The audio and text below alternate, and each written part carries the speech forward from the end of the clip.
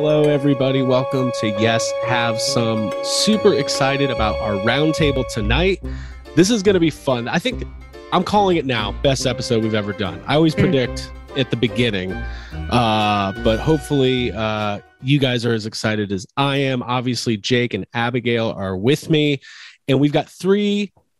I'm going to say three of the most important people in the world because these are names that are becoming very familiar, you know, in the Ghostbusters world. We we've had the same names forever. It's fun to have new people to talk to. I mean, how many times can you talk to, you know, Randy Cook and Dan Aykroyd? Not that I've talked to either of them, but I'm excited about our guest tonight. Um, I'm going to go ahead and introduce everybody, and then we'll we'll we'll dig into who they are and why they're here. Uh, first off, uh, author of the brand new Making of Ghostbusters, the incredible art book, uh, Ozzy Inguanzo. Ozzy, thank you for joining us. Thanks, you guys. Absolutely. Uh, yeah. You kind of set all this up. We we kind of talked, and you said, "Can I bring some friends?" And I said, "Let's make it a party." oh yeah, yeah, yeah, yeah. And you know, Francois and and Brynn and I were like, were we the first one of the first people on this movie when it started, Francois? I think so. I, I uh, hmm. I'm thinking back. I mean, I think you were employee number two, Ozzy, and then yeah, Brynn, you're probably employee and then Brynn three or four, like that week. Yeah, yeah, yeah. wow. It was, it was funny. The core. You know, eh, the production designers are generally like the first people to be hired, sometimes before the line producer. In this case, it was right after the line producer, and so we came in and didn't. We were just literally all walking into empty offices together at Sony and looking for a place to plug in our computers and things. You know, it's it's uh, it's a it's kind of a, a neat feeling to be to walk in and and there's nothing. There's nothing on the walls. Right. There's and what is I mean, I want to get to the individual introductions, but this is a really great point. We're now at this point where it's almost three years later. The movie's finally out. It's about to be on DVD. Everybody's seeing it is it surreal to think back about those first days when you're you're looking for the plug at Sony and that there's nothing and now there's this fully formed creation that is out there? And obviously congratulations because the movie is just as fans as lifelong fans it's everything we could have ever hoped for. And it, it's so wonderful and so beautiful. And there's so much to to analyze. So just congrats and thank you. But thank you. uh, yeah thank you Brynn I'll, I'll start with you um we're getting to know your work uh, in the art book, all of these amazing uh, pieces of art and this character design and creature design and, and concept art. Uh, is this, have you ever done anything like this? Have you ever been part of something like Ghostbusters? Um, well, you know, Ghostbusters was a really special project because um, I was given a lot on this project. I've I've been in film for a while now and animation and kind of just the entertainment industry as a whole. But um, what was so special about Ghostbusters in particular was uh, Francois and Jason really trusted me with a lot. and so um, it was probably one of my most involved projects to date, um, and certainly one of my most favorite projects I've ever gotten to work on. So awesome. Very yeah. cool. And then uh, Francois, you you have this incredible career. Um, how did you get uh, you know, how did you get your eyes on this project? Did you did you have any kind of prior relationship uh, with with Jason and how you know when, when did you first hear about it and how did you get involved? So it, it's kind of a funny story. I got um, I got a message to that, that Jason wanted to just uh, chat with me, uh, and there was no context, and he just wanted to meet me and have a chat. And so I uh, I went to Sony to his offices, and I didn't know uh, where you know I just had the building number. It was like the David Lean building, uh, Suite 100 or something, and it was the Ghostbusters office. It's got the big Ghostbusters mm-hmm. sign on it. It's Ghost Corps, and I'm like, oh, that's interesting. I wonder why he was, wants to meet at Ghost Corps. and so uh, I, I, sat down, and he uh, he was like, uh, look, I've been my my sound. Uh, my sound guy on set worked on Ford versus Ferrari and had all these amazing things to say about the set. And the movie hadn't come out yet, but he said the sets were just incredible. And I thought, uh, I, would love to talk to you about designing Ghostbusters. And would you mind reading the script? And he gave me this. He said, "No one's read it. Can, if you want, if you want, you can go read it right now and let me know what you think." And so I literally went and read the script uh, in the boardroom, and I thought it was a fantastic concept with great characters.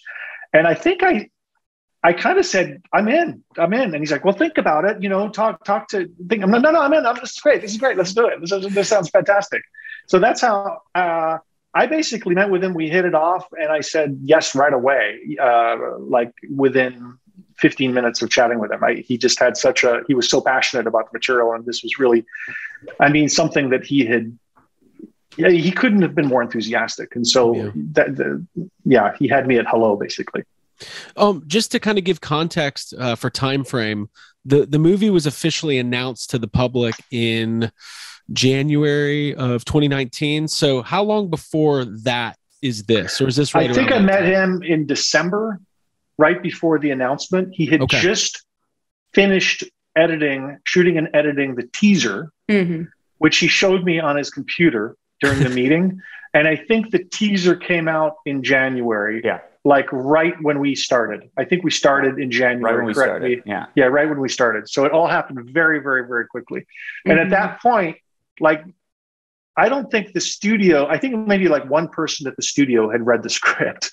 So it was pretty it was pretty fresh. And I, and it was on nobody's it was on i mean we didn't know there was going to be another ghostbusters movie. No one knew. It was kind of a big surprise even to me uh, coming into the room. Yeah. I mean we're not mm-hmm. industry uh, in the way that you all are.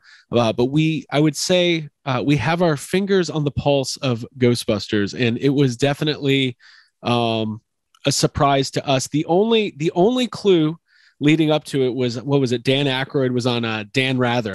Yeah, in like, like November of, ah. of 2018, and said that they were there was a uh, a team oh, of right, right. Uh, filmmakers working on a, on a script and then we were all just debating for months who is this team How many times has he said this? Is it true? Exactly. Except for it's Dan Aykroyd, so yeah. he's been saying that for 30 years. Right. right. um, so, and, yeah. and Ozzy, to talk a little bit about, you know, your involvement with the project. Uh, you, you said you, you know, you were there very early days, employee number two. Uh, how does that, uh, you know, how does that come on your radar and what is, it, it was, yeah. it was just, you know, I had never worked with Jason before, and um, but I have worked with Francois quite a bit, um, and uh, on, the James Mangold movies, on on Logan and on the Wolverine, and we did Ford vs. Ferrari.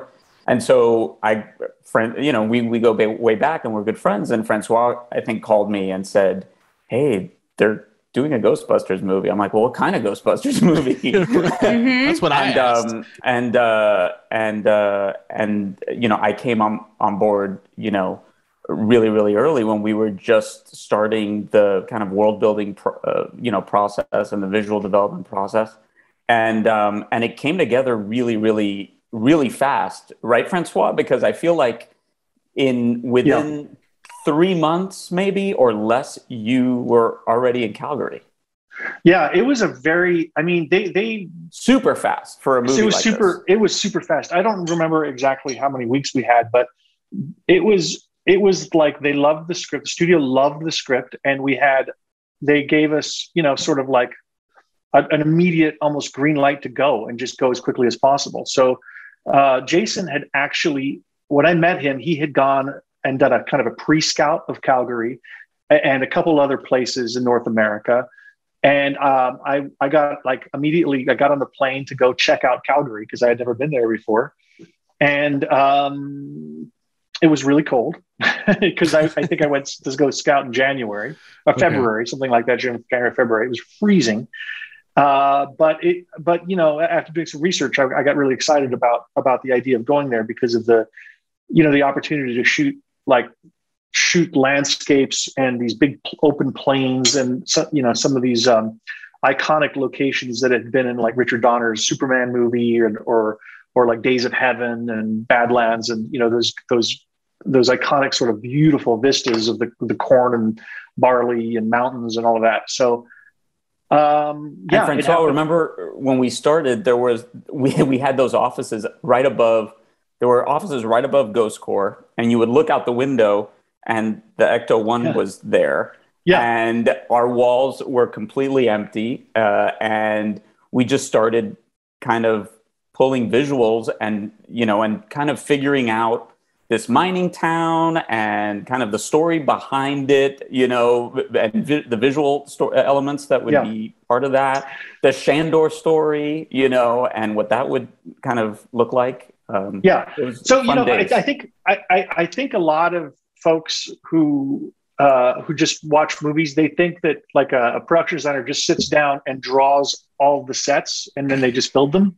But the reality is much more tedious, but but mm-hmm. also much more interesting than that because Ozzy is exactly right. You know, it, like it's literally and um, metaphorically blank walls, right? When you you have a script, and sometimes you don't have a script. In this case, we had a a pretty good script, but the script doesn't go into too much description. It, although if if if everything was described, the screenplay would be a thousand pages long, right? So you sometimes you have just a few sentences that describe a location. So uh, my job as a production designer is to start a whole a, a bunch of locomotives on different tracks going forward. Mm-hmm. One of the locomotives is research, uh, research images, and just just getting images on the wall that could spark reactions from Jason or or ex- enthusiasm or excitement about a particular location or a particular um, uh, visual thematic elements or a feeling or or um, so, so we started just pinning stuff up, pinning stuff up from books about uh, who this guy was, uh, Ivo Shandor, uh, what kind of architect he was. You know, there's there's a. It was very exciting for me to to to really explore a character who had just been spoken about uh, in these other movies, but but he's just he's a complete mystery, right? Ivo Shandor right. is a mystery. Well, turns out he's gone to this town in Oklahoma uh, with his followers, and and so and that that that little that idea creates a whole snowball of of of backstory and backstory. the Gozer the Gozer worshippers and like yeah. what was this world like that mm-hmm. we heard about but we didn't really get right. to see. Mm-hmm. And I think that that sparked that that call to John DeCuir uh, Jr. Right, Francois? Yes. Early on. Yeah, yeah, yeah. I mean, uh, yeah. One of the um, when when I was talking to, to to Jason, we were both just such big fans of the original film. Um, primarily just because it was so beautifully crafted. I mean, it's just like a classic, classically made, crafted Hollywood movie where uh, the production designer John DeCuir Sr. you know approached the material with the reverence of any other uh, studio picture. You know, I mean, it was it, it was kind of it's it's kind of a, a it could it could be thought of as a bit of a silly idea, but you in order to for it to be real, you have to believe. I mean, we all, we all have to be believers. We have to believe in the in the narrative, and we have to build the world, the story world, with as much uh, reverence and logic as possible so the audience believes as well right We're, we make believe sure. it's also one of those things where where uh, and we talked about this uh, when we talked to Arian a couple weeks ago. Uh, the average, you know, everyday film goer, uh, these things affect them sometimes on a subconscious level. They don't necessarily know, you know. I talked to my mom; she loved Ghostbusters Afterlife, and I could I could tell that things like the set design and like the world building and like mm-hmm. the practical effects all affected her she wouldn't necessarily articulate that but she's just like there's just something about it that feels different i was like well there's a million things about it and and literally years of work that go into mm-hmm. creating Making. that feeling mm-hmm. in, you know in the moviegoer so the lived in world yeah. yeah i'm glad you picked that up picked up on that because that was designed uh, like baked into the process early on. Um, like Ozzy mentioned, I called John DeCuir Jr. Uh, like on day four, I think, who is who's who's John DeCuir Sr.'s son, and happened to be the supervising art director on the original Ghostbusters. And I asked John, like, well, what was it? How did you do it? What? Why is it so? Why was the original Ghostbusters so um, believable and grounded and and just like just so good, you know. And how mm-hmm. how do what advice would you give us to follow? And he had some. He was incredibly uh, open and forthcoming, and and told us about. Uh, first of all, his father was an uh, was an incredible draftsman, um, and but also they they um, they they had this anchor, uh, Ghost Central, that anchored the movie visually. and became um, like this architectural sort of like uh, cornerstone that the rest of the movie was built upon. And so it was, um, and, and, and, you know, we learned a lot about how that came to be and about the inspiration for Ghost Central.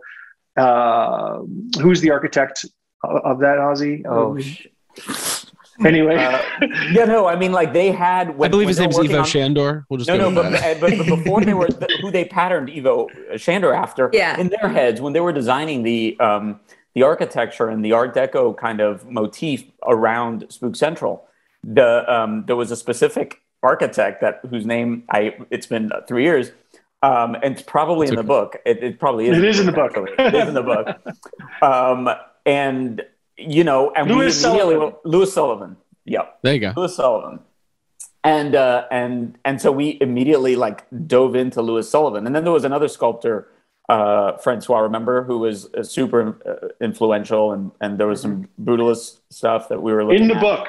Don't give it away. Book. You got to get yeah. the book. This is all. For, by the way, if any of our listeners or anybody viewing this, if you don't have the book, um, it's it's a must own. If you're going to own one piece, and I, I say this you're, you're talking to somebody who has probably more merchandise uh, than than you than I should as a human being. Uh, if you're going to own one thing from Ghostbusters Afterlife, it really is this book because it's so full, it's so inspiring, and the Ozzy, the way that you kind of tell the story. Um, sometimes these art books are literally just pictures, mm-hmm. uh, and sometimes uh, you know they are. Uh, they go, you know, super in depth, or maybe it's just mostly concept illustration. But there's really um, there's like a woven narrative with yeah, this that it's enjoyable to yeah you can go through and look at the pictures, but it's really valuable to go back and read. Yeah. Uh, Abby, I think that's a, that's a really good. And I think, uh, and I'm really proud of the book. I mean, the book is spectacular, not only because it's full of all the concept art, but because it does have, uh, like you say, like a narrative about the process of bringing a movie like this to life. It's not just just paying for a bunch of concept art and and picking the best concept art and putting it you know in the in the movie right. it's about it, it, really talks about the process and the approach to um, to world building ghostbusters and and how we came and invented this backstory and, and also created sort of a production methodology of like half hand craftsmanship mm-hmm. that echoed the original sort of like uh, the original way that the original movie was made. So there's hopefully when you see Ghostbusters Afterlife, there's a um, there's this sort of like feeling that you of, of like I've eaten this meal before, you know, but yeah, this reminds familiar me yeah. I've been to this, uh, yeah, and that that is because we, I mean, we really tried to make this movie as if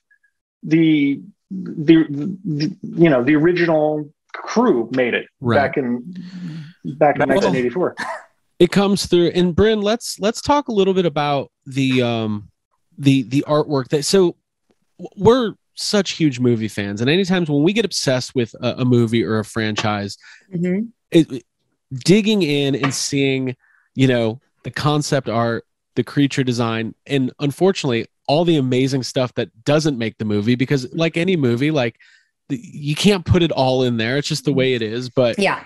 flipping through the book for the first time can you talk a little bit about your approach? Like what what was the directive you were given? And i have to ask this and listen we've had jason on the show.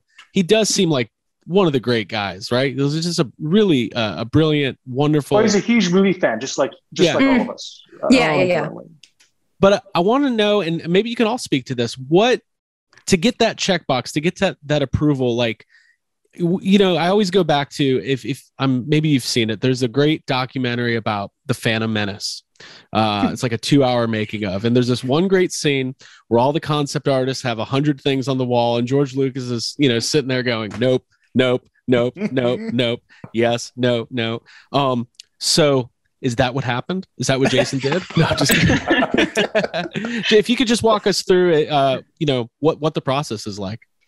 Yeah, I mean, I think Jason is a very personable and collaborative director. He's um, extremely sweet and also does know what he wants but he enjoys the journey of getting there i think um, and so when i was hired on um, to explore characters for jason one of the first characters i started on was muncher and muncher took from i started in february so month two of this production. Mm-hmm. Um, Muncher took from February until May, you know, and it was that that long. So we were working on Muncher through throughout all the other characters, and um, you know, he described him in kind of a vague way. So it was sort of this um, almost a goose chase trying to find him where we were going in this direction and we didn't like that direction we go in this direction you know we were trying to pull all these different references trying to make stories about who muncher was and mm. his backstory and the lore how did he that. describe do you remember the words that he used in the beginning as to how he described muncher he described him as um, sort of like a, a weird little bulldog like coin purse. Like he wanted him to be like something that could empty out all of the metal out of his body. Okay. And um, and the early storyboard that was pitched to me to to show Muncher in action was the one where um, they're chasing him through town in Ecto One and like mm-hmm. you know firing off and destroying everything in the process. And um, the storyboard artist had kind of drawn him as this little bulldoggy looking monster. And and there was something about that that kind of helped. And so we started in that direction and we ended up not going in that direction but it was a good spot to start. So um yeah it jason was was not very he wasn't like no no no no yes.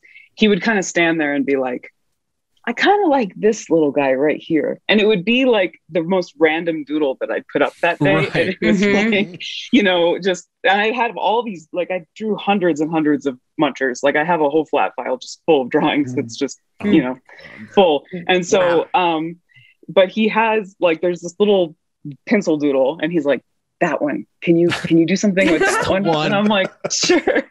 and well, so we just there. you, you, know what's really impressive about uh, I mean Brynn is so impressive, but what's so impressive about her is that she has such like an understanding of an of animal anatomy. She can she will talk about uh, the the this certain muscle and know the no word for it that it's between like your neck and your I don't know what even what that is back there. Oh, but the name of it. muscle. Okay, there you go. anatomy. I love it. I love it. I, I, nice. That's one blind spot. I know nothing about anatomy. I I, th- I, think the back is just one muscle or something. Yeah, I don't the know. back no, muscle. I pulled my back. Muscle. Which one? The whole thing. Just pull, mm-hmm. pull the whole thing. Um, but so so she so she could. I mean, she created an entire like skeletal system and musculature system for Muncher and for all of the all of the creatures that she worked on. She, so and and and by doing that, she can then draw like a million drawings of that character in every different uh, situation. Right. And, right. Yeah, and and that's and what she really did that was phenomenal is she brought like like a whole nother level of of realism and scientific accuracy mm-hmm. to the Terror Dogs, which hadn't existed before. Like we all knew, we all know in our if we like close our eyes, we all know what a terror dog is supposed to look like, but there's there was she she we didn't even know this, but Brenna's like, well, there you know there's these pro- the problems with the terror dog and and with the anatomy of the hind mm-hmm. legs of this, and it wouldn't be mm-hmm. able to do mm-hmm. this and that, and so it was uh, there was a forensic uh, deconstruction of the terror dog that I thought was uh, that that helped yield an even better, more articulate, more believable terror dog. There was, really the script, the there was stuff in the script that that we never saw the original terror dog do. I remember that was the that was the the trick, right, Brynn? Where yeah, you, you yeah, were, that you was. Were, you were trying to do this dance of like capturing well, the same the same terror dog, but also allowing it to do these things credibly mm-hmm. that the, the new script and the new story were were asking. Yes, that was the biggest challenge. I think was trying to remain, and that was one of the, one of the things I think I was asked early on was like, what makes a Ghostbusters monster ghost? Mm-hmm. You know, Ghostbusters. What is the flavor? And you know, I, I answered that question with like, it needs to be iconic. You need, you, a kid needs to be able to draw it, you know, uh, and remember it. And I think the Terror Dog is a really good example of that. It's like a big gray dog with red eyes and horns. And like yeah. most people can draw that and remember that. And so a lot of what I was trying to do was trying to bridge the original 84 version and keeping the legacy of that creature intact, but also trying to make it feel heavy and have some weight and some credibility to mm-hmm. the body plan of it so it had room to move around and actually be animated in a way that it, it needed to be because Jason had it running through streets and like attacking cars and doing all this crazy stuff. And I was like, yeah. oh, this is so much different than like hopping down to Central Park. You know, right. the, one, that we got. the one shot in the in the yeah. in Ghostbusters where you see the terror dog move. It's it's a it's a very it's a hop. It's more of yeah, a hop like than a anything. And now we yeah. You know, smashing through Walmart, and it's kind of like as a somebody who's seen the you know movie so many times, uh, or the first one, eighty four. When you the first time, like Jake, we're in the theater. We we we were at the New York Comic Con screening. Was the first time we saw it. So wow. it was just this like you know larger than life moment there's thousands of people in the cast and crew and we're, we're literally like in the front row, like, for aftermath for the for the new movie for afterlife, afterlife yeah, yeah. Um, that was that was i think one of the very the best screenings of the entire i mean uh, jason said it was like one of the best screenings of his life it was unbelievable it was, it was yeah. and, and and it was that the best screening like, of my life yeah it was the best screening of our life we, we've been we were so lucky um Ghost Corps uh, and, and Eric, they've been so uh, kind to us and and to you know get invites to things like that and to to have in any kind of involvement with this franchise that we love is is really special for us. Um, but sitting there and seeing these iconic creatures and seeing the terror dog literally like moving in a way that you imagined your whole life, but uh, you never thought you would see it, you know, on screen. It was it was uh, mm. surreal is the only word that comes to mind. Yeah. But there's yeah. probably a better way to describe it. mind blowing. Like uh, honestly, because your mind reacts to it like there's not you don't think like oh that's supposed to be a terror dog it's just like that is a terror dog and right. i think that is attributed to brynn to all of your like uh, detail with those the sketches, like right. to, and, and, like all, all the uh, the note taking and all like the uh, at one point I think I read that there was uh, like the dro- the drool of the terror dog is like ammonia and jasmine. I thought that was mm-hmm. so cool. And also Thanks. you had a, there were a bunch of ghosts that didn't get used that I'm like, yeah. Oh yeah. I want to talk about that. Also, I've never wanted the anatomy of Ghostbusters creatures as a book. Like that. Yeah, like a field guide. yeah, that's a great idea. That's a great one. Yeah. Just tell them I'm down for it anytime. Yeah, Ozzy, we'll we'll, we'll talk. I, have got I got Eric. ten ideas for for the next round of books. This is a whole series. We've got ideas. Encyclopedia Britannica level. You know, we we, we need it. documentation. Um, that was one thing we tried to do too. Anytime I put a new ghost on the wall, I would try to put it into the like taxonomy of ghosts of Ghostbusters, like what what level specter is it? It was yeah. a lot of fun to right. do that. So, mm-hmm. well, well, I, I, told Brynn too, like, uh, put lots of notes in your drawings because I, I, think notes are great and they remind. I, I love uh, the artwork of the the late uh, Ron Cobb, um, uh, who who you know he was famous for designing the the creatures in the original Star Wars Cantina. And if you look at like some of the great, my favorite like uh, alien drawings are Ron Cobb's drawings of like the ha- of Hammerhead because and because it, it, has these little notes that talk about Hammerhead's planet and and what you know and his religion and things like that. And I right. thought, man, and so Brynn took took a page out of that, and so you know you can see it in the book, the plug mm-hmm. to the book. Mm-hmm. You can see Brynn's all the little notes about the character backstories for for for these creatures and aliens, which I think is a lot of fun because it adds realism and it adds layers for to, to refer to you know well and also yeah. it it adds to the lore. Um, mm-hmm. and I think, you know, mm-hmm. when we mm-hmm. think about this movie and, and Francois, you were talking about it earlier in, in, in Ozzy about the, you know, in, in Ghostbusters uh, 84, uh, this scene where they talk about Ivo Shandor, uh, it's it's expository. It happens in the jail scene, and yeah. hardcore fans have been holding on to you know that you know two minute discussion for over thirty years. But finally getting a chance to like flesh it out a little bit and mm-hmm. be like, okay, mm-hmm. we get to see Ivo Shandor uh, ripped in half. See, yeah, Tobin Spirit Guide.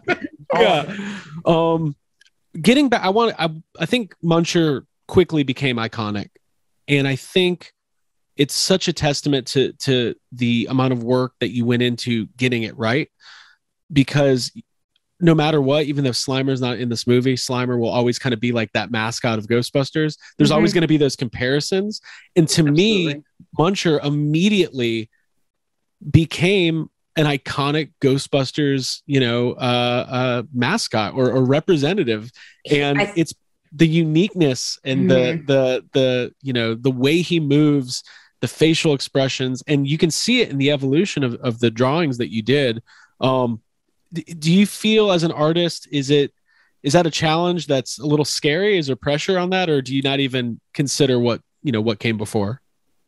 Um, no, I mean, I absolutely was looking to 84 as a as a guide, and Ozzy was great because he he would give me all of these like archives of old concept art from the original, and so I had all of these amazing drawings of some of the ghosts that were being thrown around for the 84 version, and it really helped me kind of pinpoint the sort of flavor I was looking for. Right. Muncher went through through so many different, you know, iterations, and and we were me and Francois would talk about, you know, what's Muncher's story, you know, I, and I was trying to um, be like, oh, he's an old miner that got like trapped and now he haunts the place and he was brought back by a seance and like the, you know, 70s and has yeah. been there ever since. And like all this lore I was trying to kind of like make up, you know, mm-hmm. and, um, but yeah, finding his like look is, is a lot of pressure because you want to make sure that it's, it, it has the same vibe, but that it's different. Um, that it's scary, but also a little endearing. Like mm-hmm. we wanted Muncher to kind of have these moments where you were like,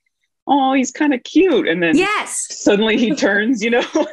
yes. So, you, it's like you feel bad for him a little bit. Like there's some sympathy yeah. that he's sad, but then he goes to scary so fast. It's a, it's that, a really good abs- flip yeah and that was one of the the bits of story i really wanted to give to muncher because muncher's whole deal is that he's constantly seeking metal and something we talked about a lot in in exploring muncher was he's greedy and he's trying to to get something but there's nothing in it and it's like you know mining just all of this kind of like culture around that or this like mm-hmm. lore around that is kind of interesting it's sort of he's like always grabbing but can't get enough oh interesting and it's oh, getting, kind getting of, deep yeah. There's a microcosm for the entire town. I love it. Yeah. So exactly. It's, it's, so in the early designs of Muncher, I actually um, you know, was exploring like his hands being more of a thing where they were really grabby and like lots of fingers, like really scary, kind of mm-hmm. spidery.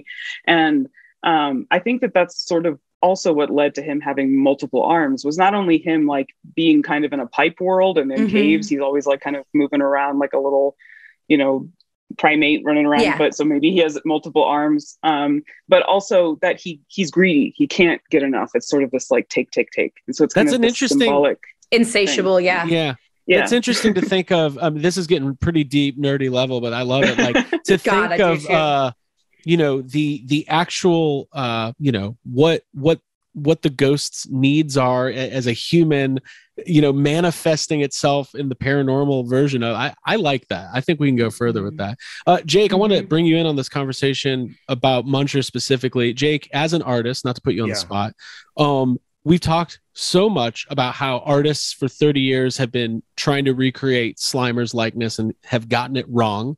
Yeah. We talked about this with arian do you think muncher is it going to fall into the same are people going to struggle to capture uh muncher in and we hope brynn is the only person doing muncher for the next 30 years but eventually there's going to be a comic book or a cartoon or something where somebody else is tackling him and i, I want them to get him right. Do you think they will uh well do i think they will probably not but um i think that's not a bad thing like that's the good thing one of the we've said it before the problem with slimer is always that you look at him and your mind thinks it's very simple but it's not Mm-hmm. And I and and mm-hmm. I think uh, Muncher's exactly the same in that kind of way. Right, right. Mm-hmm. Yeah. Um, but I also wanted to point out, Craig. I know you won't say this, but you are the winner of the Draw Slimer uh, comic book contest from like 1989. When I was five years old, I got into the real Ghostbusters comic book. So, uh, news alert: they let everybody who sent one in uh, be a winner. And yeah. mine, not good. It's, it's not, not, good. My, mine was the paper. only one on lined paper, so you can see the lines printed in the comic book. Um, That's wonderful. So, Ozzy, Francois, Brynn, going back, the movie's in motion. Production design is happening. Character design is happening. They're getting the sets, you know, ready. How, you know, I think, gosh, when did it start shooting? Was it June of 2019? July? something along was, those lines. It was like July, fifteen or, years ago. Right? It, it, was the summer sometime. I, I don't, I couldn't tell you the exact month. But I, I thought what you were going to say, Craig. All of this is happening, and then Ivan Reitman walks in, which would happen. Okay, um, and that's actually what I want to say. Go there's a, a great, there's a, there's some kind of from, I mean, from all of our perspectives, like okay, and this is Jason's movie, obviously, and then but it's it's also which is what makes the book I think so interesting that it allowed me to tell that story of which is so unique um, to have you know uh, the, the, the son kind of picking up the reins from the the father and something that means so much to to him and as a family and their close friends the the the Ramises and Aykroyds and all that and mm-hmm. so it, it was it's it was great when we'd be up there and then suddenly Dan Aykroyd would pop up or Ivan Reitman would pop up and it was a bit um, I mean I guess Francois, you should talk about what that felt like as um, a movie lover, and it was sometimes intimidating. It was like, should I, you know, and and Brynn too, because I remember he would walk right by your desk, Brynn, when he'd come oh, in, yeah. and he would, and sometimes Jason would be with him, and sometimes he would he wouldn't be with him, and we'd be waiting well, for Jason. What was really funny is when um, Ivan would come up, sort of like unannounced, because his office is right downstairs. We're literally in these offices above Ghost Corps, so he'd come he'd come by and would have like a model of would have a model of the, the, uh, the temple interior the temple. and would have a bunch of artwork up that we that that getting ready for a presentation with Jason and Jason isn't around and so Ivan comes in and he and he can't help it he's been directing for 30 40 years you know so he start he starts reacting to all this stuff and his assistant's like trying to get Jason on the phone. Your dad's over here and he's directing again. oh, no, no, yes, yes, yes. Uh, yeah, You're out of here. It's just um, it's just his programming, and he's yeah. just so honest and, and and I think just so enthusiastic about seeing all this stuff again. So uh, so it was. I mean, it was lovely to have, and I, I mean, it was incredible to have uh, Ivan there. We had a we, at one point we couldn't figure out what the color of the original slime was because there's all this information online.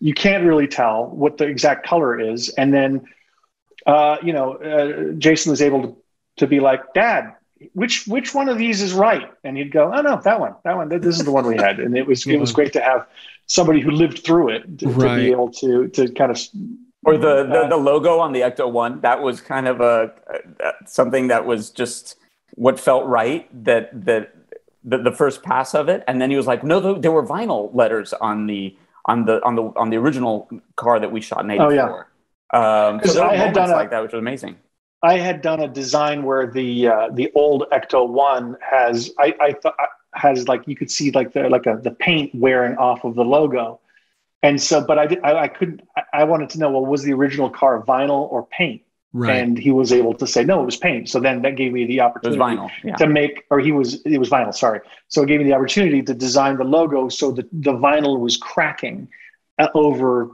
over time and right. you could see little fissures in the, in the vinyl what an invaluable resource but also like i i you know we've had the chance to be around ivan a couple times and i i he he i think he's a little intimidating just he has got that that we've all talked about it. Like uh, Jake thinks Ivan hates us. No, he, he, just always gives us this look like, oh, they're here again. It's those like, guys again. Why um, are they at everything? Um, no, but I mean, how special is that? And such it's so unique because like when we are at Ghostbusters Fan Fest and we got to see uh, Ivan and Jason on stage together, they have such a reverence for each other, such a respect, mm-hmm. but I'm sure they also butt heads like any you know, like any yeah. collaboration with it, you know, on any creative well, team.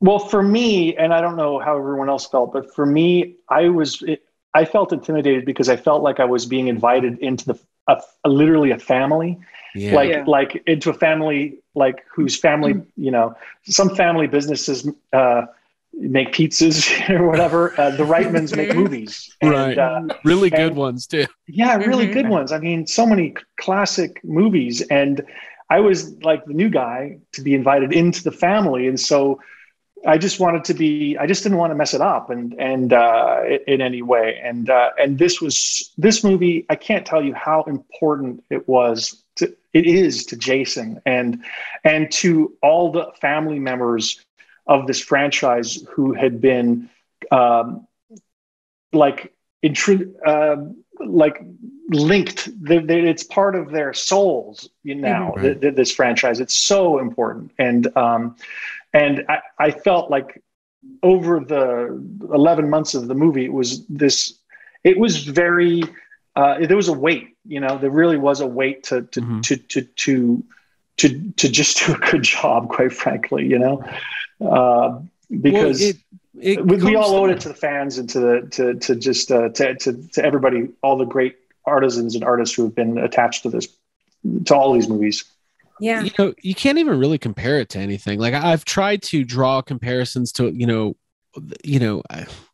yeah, Star Wars coming back is one thing, but it's also Star Wars has come back multiple times. Like this was such a to get this team of people with this much reverence, uh, this much you know connective tissue to the original, and to execute it with like the precision like uh francois we were watched you know this was kind of serendipitous the the tested video that you did with adam savage was released i believe yesterday and we mm-hmm. watched it this morning um and that's a really I don't, i'm sure anybody watching this has already watched that multiple times mm-hmm. but you know when you're talking about the the detail of uh you know the farmhouse and then mm-hmm. the, the, the precision of piecemealing that out growing corn. Did you know that you'd be growing corn for this movie? Like that's part of the production i kind of figured yeah i kind of i mean i was literally I, I was so scared that the corn wasn't going to grow high enough that i was yeah. Me and my art director were literally weeding uh, like an acre of corn where we were like pulling weeds out because the weeds were sucking nitrogen that the I was convinced that the wheat the, that the weeds were and it was just were, was stunting the growth of the corn. Yeah. I mean yeah. it, it, just learn it's, botany it's for the show. I know. You just, just roll with quick. it. Craig, you Craig, you were saying like you're trying to think about why this feels so different and trying mm-hmm. to think of other and it it sounds to me like listening to all three of you guys and either other people we've talked to it sounds like jason was really smart and he kind of went on a quest to put together an avengers style team of people who were yeah. not just like not just doing a job you know, but like doing mm-hmm. something they love for enjoying it. Well, yeah, like for well, a franchise that everybody in it like like when the Muppets built the foundation yeah. of this movie, you know? I mean, I'll tell you two things. Number one is when Jason interviewed a department head, he he asked me and he asked everybody, I saw him do it. Are, are you a Ghostbusters fan? And what's your favorite? What was your favorite thing in the movie? It would be like that would be the final test, right? So you had to kind of pass that test in order to, to work on Ghostbusters. So you're right. The entire crew, we were all huge fans of the, uh, especially the 84 Ghostbusters movie. Uh, and, and because we had to pass that litmus test, otherwise we wouldn't have been hired. Yeah. Right. The second thing all... is yeah, the it. second thing I just wanted to say is that Jason comes from a background of making movies that are uh, that are shot in real places without really any CGI, you know, uh, n- not on a soundstage, but in real places with real in real situations. And it's it's got it's, these movies have got a very grounded uh, quality to them. Right. And so he would, you know, when when we would propose different solutions to problems, he would go, you know, it, whether it would be like, oh, well, we'll put a blue screen up, or you know, we'll just put stick a tennis ball on a C stand and put it in later or whatever. It could go, well, wait, that that'll that's fake. That'll be fake. And filmmakers aren't supposed to say the word fake. Like it really, it, it was like it kind of like made me jump. I'm like, you're mm-hmm. not supposed to say fake where it's all fake. Everything's fake. Yeah. but it kind of hurts when someone says fake, the fake word. Right. And yeah. so it drove, but it drove us all to like, ooh, I don't want to be called fake. We want to do it for because that doesn't sound very good.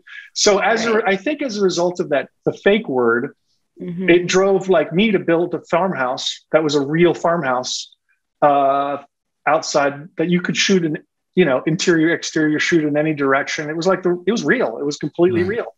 And a lot of the locations and sets had a quality to them that made it feel like they had, they were real locations. They were they, none of the locations or sets were well you can only shoot in this direction and uh, you know they're very very immersive. And i think that you could feel that when you're you're you're you're watching the movie you're feeling like like we actually went to Summerville hopefully you know mm-hmm.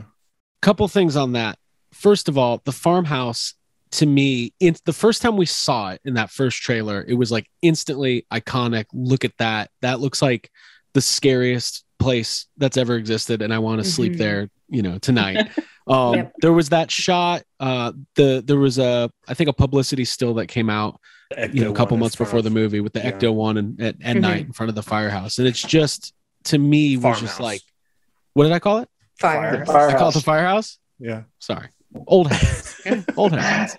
Um, in front of the farmhouse, and it was just like it, it was interesting because you started getting that feeling like this is a Ghostbusters movie. We know it's a Ghostbusters movie. It's going to have all the iconography. It's going to have, you know, the original team and it's going to have the logo and the proton packs and everything. But this is different. Everything about this, this is not what we were accustomed to. And also, we've talked about this ad nauseum, but I'll say it again. It, this seems like the least likely way this movie, like, we always assumed if they were ever going to do another movie in the original universe, it would be that same new team getting back together in New York, busting ghosts, you know, a couple comedians. It'll probably be pretty good, but won't, you know, won't hold a candle to the originals. But this approach was so drastically different and so unlikely that it, it, it got the excitement was like palpable for us. Like for, uh-huh. unfortunately, I think mm. 10 12 years before it finally came out uh, but uh, it, it, felt like that but you know with every delay was just crushing but um, mm-hmm. it, it, just you know and then uh, francois i wanted to touch on this it's in the book a little bit um, recreating uh, from the original blueprints the the Ray's Occult uh, set oh, yeah. from ghostbusters wow. 2 we, we are huge ghostbusters by the way if we sat down to interview for afterlife we'd all fail the interview because Jason would go, "What's your favorite thing from Ghostbusters?" Like Statue of Liberty, like, like pink slime, slime blowers. We we love Ghostbusters too. Um, but yeah, can can you talk like that? Seems like Absolutely. a really unique challenge so, to, to redesign something. So like uh, yeah, Ray's Occult was featured in the second movie. Uh, and we called Sony. I think Ozzy, you called Sony. We couldn't. There were no blueprints. There were no blueprints. Nothing had been saved nothing. Mm. I I happen to be friends with the art director from um, from Ghostbusters 2, Tom Duffield, and so I I emailed him, and he went through all his archives. He didn't have any blueprints. Nobody had any blueprints. So we ended up having to. Uh, uh, what did we do? We got every still we could find, and we rebuilt it in 3D so that we could line up everything so that you know all the shelves and everything could line up with the stills that we had. The other thing that we did now it's coming back to me we found some um, original um, uh, insurance like schematics from like 100 years ago from new york which gave us the the the width and the depth of the location in oh, wow. St. Paul's Place, I think. Is it is that yeah, what it's called? St. Mark's like Place. St. Mark's Place. That's right. St. Mm-hmm. Mark's Place. So we had kind of like the overall footprint that it would be in, and um, th- it was very much like putting together like a yeah like a, a forensic recreation of something that had happened. Um, but the the my, my my my biggest my best memory of that location is that we we built it. We filled it up with with with books and and we came up with this whole story as it's like well what has he been doing? Like what's ray been doing all these years? He's still in business. How did that happen? What is how he selling? how, yeah. how is he staying in business now mm-hmm. that there's mm-hmm. amazon? I mean that must be hard. So uh so we gave him we figured that he's selling like crystals and like kind of like new agey stuff too. And so there's like there's incense and uh, he, there's uh, there's like a hand reader in the back and uh, I mean he's and he's selling all sorts of stuff and he's got he's got like a uh, you know he's probably got he's got stuff on eBay. Right. And um, mm-hmm. I'm surprised there wasn't a Crystal Head vodka uh, in the back. But uh, what we did what we what we did is we put all this stuff in there and then I, I, I brought in a dust machine which is this this Hollywood old Hollywood device. You just spin it and the dust goes everywhere and it goes oh, down. Wow. And then the last thing I did is I I actually lit a bunch of incense and, and patchouli and stuff. And so and I swear to God, it smelled like an old book bookstore. And mm-hmm. when when uh, when Dan Aykroyd came in, he I could just I mean he was just so elated. He was like he was like home again, you know. And I yeah. gave him made business cards. I gave him a, a, stack of business cards to put in his pocket, and he was he was just he was just so happy. It was just it was the one of the best days of my life. Mm-hmm. Oh, that sounds incredible. I mean that the scene in the movie is is amazing. When we first saw it in the, you know, I don't think any of us were expecting to see Ray's Occult. Like that was a, a secret, well well kept. Um, mm. But when it when it first cuts to Ray and he's dusting off one of the crystals, like it's just it's just funny. Like it's mm-hmm. one of mm-hmm. those subtle funny things that is very Ghostbusters that yeah. you might not. I love he has a red phone too. You know, it's like right, a bad phone. yeah, exactly. right, right. It's it's, um, it's, familiar, even though it's obviously all new stuff that you're bringing in. It just right. it feels like it should feel when you watch it. Yeah. Um. Uh. We're gonna wrap up pretty soon. I want to be respectful of everybody's time, but I feel like we've. I feel like we could have hours of conversations with all of you. Yeah, we oh haven't God, talked about we, the chicken sandwich. Oh yeah, yeah, yeah. Let's talk about it. We got to. Oh my god. Um, I, just w- I, I just wish that Dimetrodon was when I when I opened the book and saw that there was a ghost dinosaur. I was like, well, who do I who do I call to complain that this is not? yeah, and the crossing guard ghost too. Another one. Oh, yeah. yeah, there I, were so uh, many. Oh man, there were so many good. There's gags. a story behind the crossing guard, right, uh, Brynn? There is, yeah, and and even the Dimetrodon. I mean, part of you know, like Francois said with notes and stuff. Part of what I like to do in my concept work is work with lore and world building and trying to pull from a place. And so because we're in Oklahoma, you know, I was like, wouldn't it be great if everyone's ghost showed up and you know, Dimetrodons roamed Oklahoma, early Oklahoma, and um, I just thought it would be great. so yeah, I threw that be. in there. We think it's great too. Yeah, it's really great. Maybe and, one day. oh, yeah. I mean, that's a whole cool. series of movies, and, and yeah. there's an animated series of ghost dinosaurs waiting mm-hmm. to happen. well, um, I mean, if the only, if I may just interject one thing, sure. this is what we do in the art department. We create backstory, and that's like an extreme case of backstory where Brynn was actually thinking about the way, way, way, way, way backstory of Summerland. yes. But but this is what I mean. As all I, I'm only as good as the as the team that I put together, and so I, I I'm trying to inspire everyone to come up with their own contribution to that backstory. And back to the book again. I think the book is unique because it's really about world building, the world building of Ghostbusters Afterlife, and it will tell you all of this these these details that that that where you'll understand why the movie feels the way that it does, you know. Right. And the mini puffs, which I mean, Brynn, you had so much fun with that early on. We went to the market. We bought, remember we yeah. got the we did yeah. We, we bought real marshmallows and we yeah. built a little yeah. a little mini puff. We we made we made real marshmallows with toothpicks and real and marshmallows, all different sizes as a jumping off point. Yeah, and then it, was fun. Yeah, it was great That's fun. Such Absolutely. good research. Brynn had oh. so much fun doing those those. Yeah, and we I even mm-hmm. remember like cutting out some of the concept art once we got the design approved to scale and I put it around the office in hidden places. So when people would like open cabinets, there would be like oh. a mini puff, like oh, I love that. just like yes. taped to the back of the wall. like, yes. Oh. what a what a unique experience. I'm going to do that in my own house. when you when you talk about world building, like you're all in this close knit kind of family for for a very long time, where you have like by time we all found out about mini puffs like that's old like you've been working designing and playing with mini puffs for for two years at that point so i can't imagine the relief that comes of like yeah. finally we can like mm-hmm. you know mm-hmm. let the cat out of the bag a little bit it um, was really special to see him come out of that little bag and and it's incredible. You know, it was it's, like, oh, there he is. finally, there he is. Um, yeah. and Brynn, I should say on social media, you've been post. You posted a really your post today was awesome. I think we oh, tweeted it where you the original scouting shots, and then you animated some mini puffs on there for you know for concept stuff. It's just yeah. really, really fun stuff. Um, we got to talk about Bug Eye Ghost. This is important. Oh, oh yeah. Okay. so um nobody's been able to answer this. So hopefully, between all of us, we're going to get to the bottom of it. Brynn, we, the mm-hmm. concepts are are amazing. Obviously, Thank this you. is inspired by. Uh, he's back there somewhere. Uh, the original yeah. Kenner uh, action figure. Um, mm-hmm. We've long we've had. I'll call Jake at two in the morning, like, "Hey, I know it's a school night, but let's talk about what Kenner ghosts we want in our Ghostbusters movie." Yeah, um, like a weekly conversation. Yeah, yeah we, we uh, where did it come from? How, how did this happen? It was so delightful to see it on screen. It, we we we all collectively went whoa like a like a like you know like children, but it was amazing. uh, well, yeah. I mean, I remember from what I remember, Bug Eye. So when the pandemic like lockdown started and everything was kind of delayed, we there was suddenly this like gap and Jason called me and was like, "Hey, are you still around to do concepts? We have some extra time now.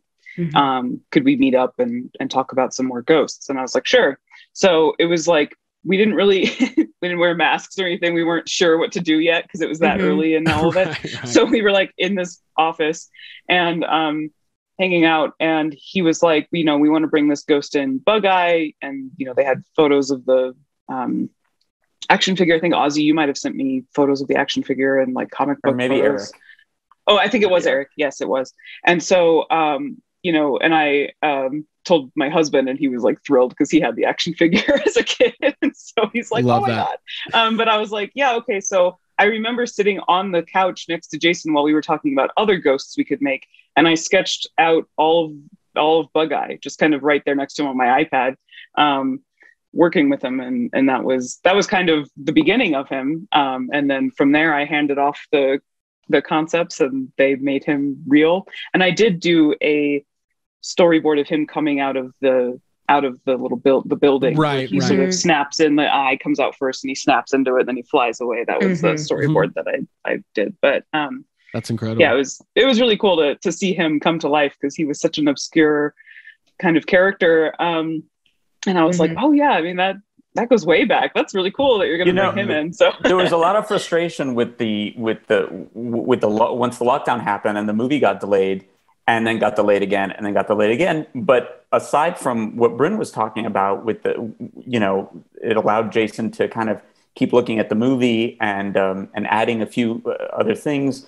Um, and one of the things that it did, um, and I'll, I'll, give so much credit to Eric Reich at Ghost Corps um, was that we, because of COVID, we were able to make the book. Um, the book wasn't part of the original schedule only because the movie was coming out and it just didn't happen. And so, because we had the lockdown and the movie got pushed, we were able to sit down and, you know, Francois and Eric called me and they said, Hey, you did one of these um, for uh, for another movie. Um, it, this would be a great book, and I was like, man, this would be an awesome book. And what was great was that um, usually for these types of concepts are, are, are making up uh, of books, and we all have them.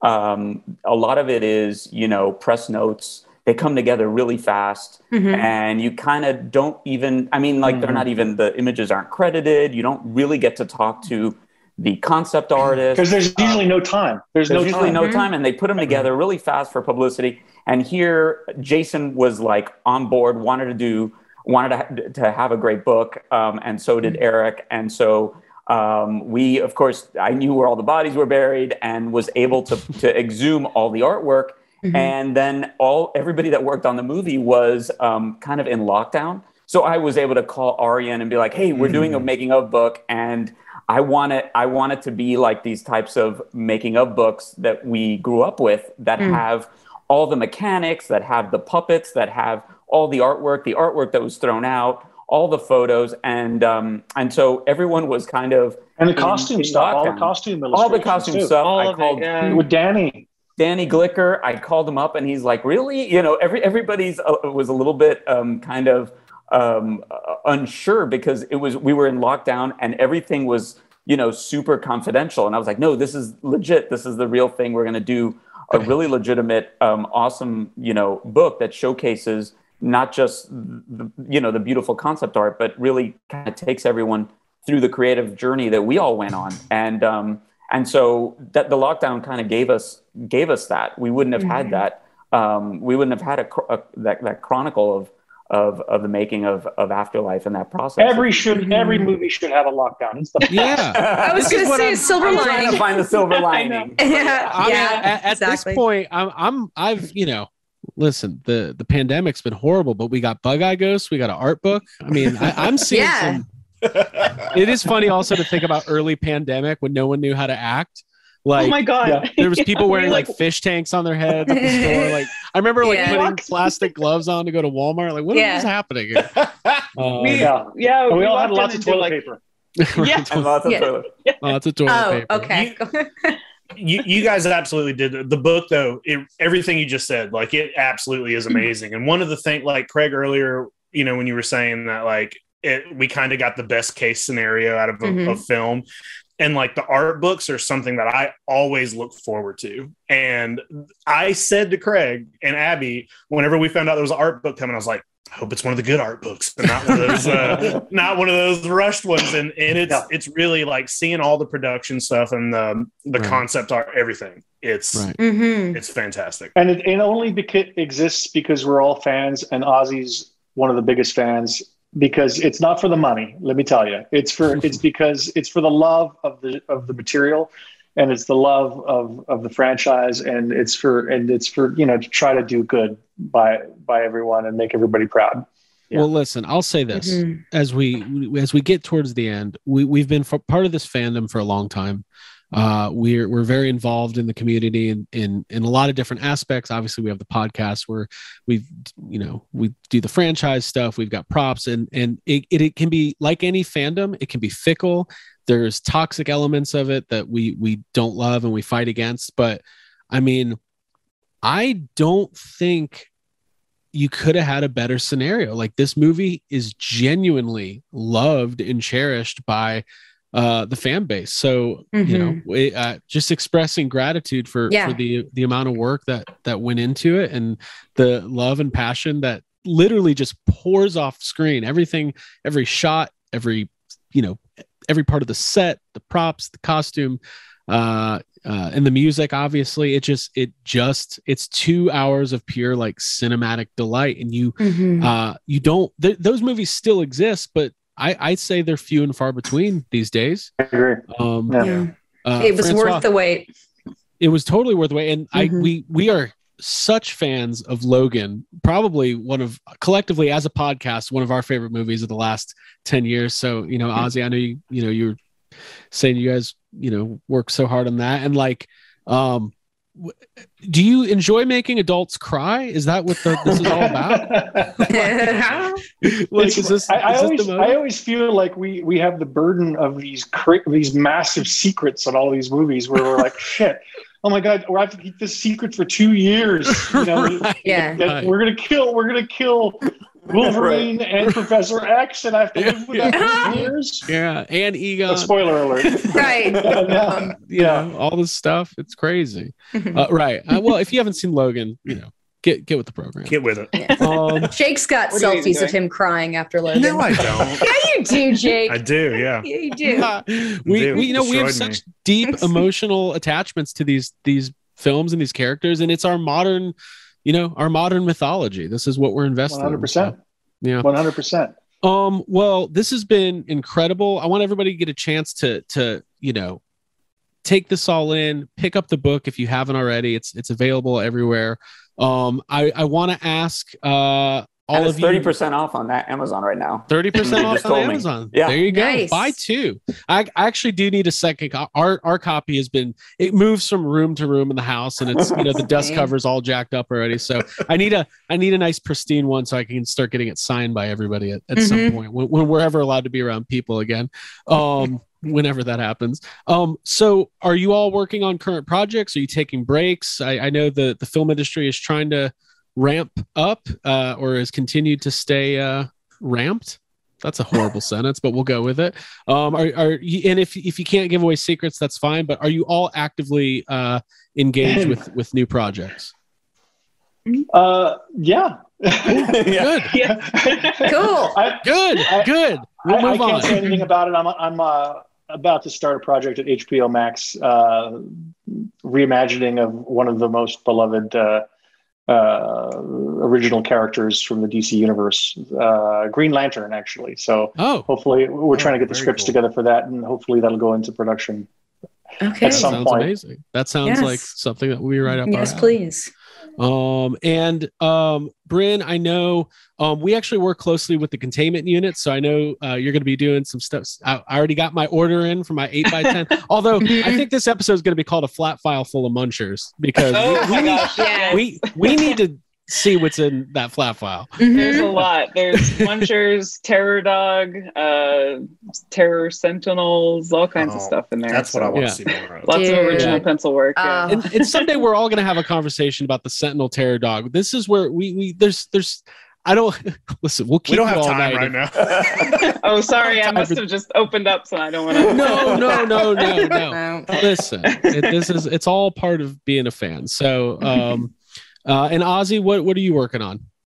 Writing stuff and the same thing, you know, uh, non-disclosure agreements and Sure, you sure. know Mhm. th- these types of movies. But um, you know, it's great when occasionally you get a, a really, really, you know, you get the combination of a good filmmaker and also who someone who's who's um, you know a fan not only of the source material but also the craft. And like Francois was saying earlier, it's hard to find you know uh, filmmakers that that uh, kind of embrace both of those things uh, because of uh, because of technology the way it is. Sometimes you tend to forget that story uh, comes first, and um, and that's again to bring it back to Ghostbusters. That's w- one of the things. One of the elements was story, story, story.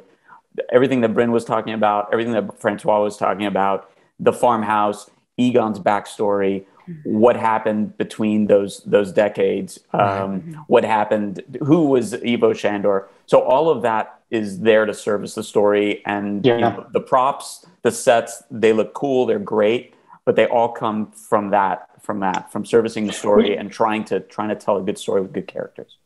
I think the uh, the scenery is surface, and it's very important to do a, a good job with that. But at the end of the day, you know, I, I always go back to to uh, the mantra that I want the audience to feel something. I want them to feel something. We all want them to feel something. And how do you do that with making the this world that feels that that, that has a, that creates an emotional response in each Right. scene? And what's each scene about? And how do I enhance that? How do we enhance that with characters that have backstory and notes and history and and uh, a, a town of Summerville that has a whole history uh, that you can feel Mhm. uh, all makes sense and all It's of got that. to have So- soul to make you cry. There you go. Yeah. Oh, we Yeah. thank you for doing that job. All, And- all three but of us also appreciate like it. i mean it goes without saying but you know then you have a cast that is just knocking it out of the park every like the this is like unbelievable like people i don't think people know people know but they don't know how good mckenna grace is in this yeah, movie. she's just terrific. Fantastic. Absolutely phenomenal. like Yeah. i'm Yeah. not exaggerating when i say i think she should have been or should be considered for a best actress uh oscar because or academy award or you know the, that's the same thing i just said um i'm not saying that just because i'm a ghostbuster i think it should be nominated for everything um and by the way congrats uh, francois for your nominations uh in recognition this week uh it, it, Thank you. It's got to be rewarding and, and exciting and it's it's so well earned and so deserved uh it's just it's just so cool we're we're such fans Well, it's wow. It's uh, thank you so much for saying that. I mean, it's uh, yeah, I mean, it really means a lot to to if, if it didn't work for the the real fans, it wouldn't have worked at all. Yeah. You know, so that's a litmus test. cool well we will part ways for now we will say goodbye i'm sure we will catch up down the road everybody go pick up the art of ghostbusters afterlife uh i want to get the act- the art and making of the movie i keep we keep calling it the ghostbusters art book but it has an official title so let's make sure people are finding the right thing don't buy the the knockoff copy that that i wrote Well, originally it was just going to be the art of. I think originally they just were like, "This is gonna if it comes together really fast." And I was like, "Just the art of." There's so much to this movie, and you're only going to do one uh, when the movie comes out, so it might Right, as well right. be like you know, it should have Right. everything. And all inclusive. and and because of Ozzy, it was like it's 25 pages longer than they wanted it to be. So that, Sure. Oh, that's true. Oh, Load it that, up. that, that also Yes. happened. i wanted it to come with like digital downloadable content for more like with a cd-rom in the back or something remember that? That's great. Oh, yeah, yeah. Uh, well, everybody, thank you for joining. Uh, we will sign off. Join us next week for more from Yes Have Some podcast. Thank you so much. Yeah, thanks thank you y'all. again. Absolute pleasure.